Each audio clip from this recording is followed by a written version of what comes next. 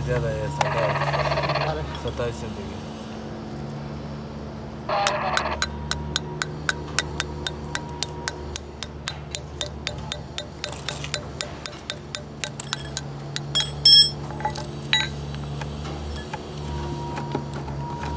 ज़्यादा नहीं डालो बाद में आता